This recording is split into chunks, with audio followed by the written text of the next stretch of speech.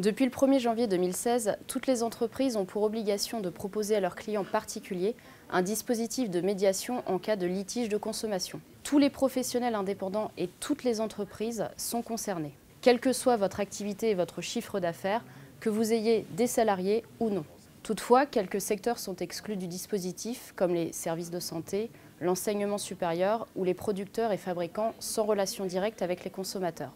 Le dispositif médiation obligatoire est assez contraignant et représente un coût pour les entreprises. Vous devez tout d'abord choisir un médiateur et faire figurer son nom et ses coordonnées sur tous vos documents.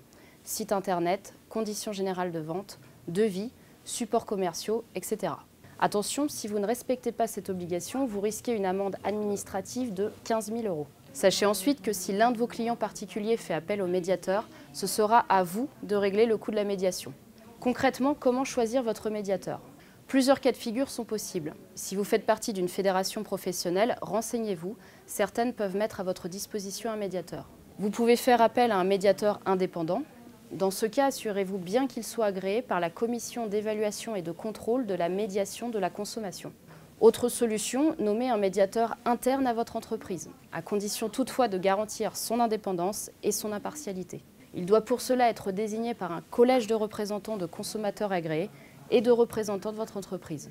Cette solution concerne majoritairement les grandes entreprises. Dans quelles conditions le médiateur peut-il être saisi? Avant de recourir au médiateur, votre client doit d'abord avoir tenté de résoudre à l'amiable son litige avec vous. Concrètement, il doit vous avoir adressé une réclamation écrite avec accusé de réception. À compter de cette réclamation, il dispose d'un délai d'un an pour saisir le médiateur. Sa demande ne doit pas être infondée ou abusive. Ce sera au médiateur d'en juger. Enfin, il ne peut pas y avoir de médiation si le différend a déjà été examiné par un tribunal ou un autre médiateur. Pour résumer, depuis le 1er janvier 2016, toutes les entreprises en relation avec des particuliers doivent proposer un dispositif de médiation en cas de litige de la consommation avec un particulier. Concrètement, ça signifie que vous devez choisir un médiateur, communiquer ses coordonnées sur tous vos documents et prendre en charge le coût d'une médiation.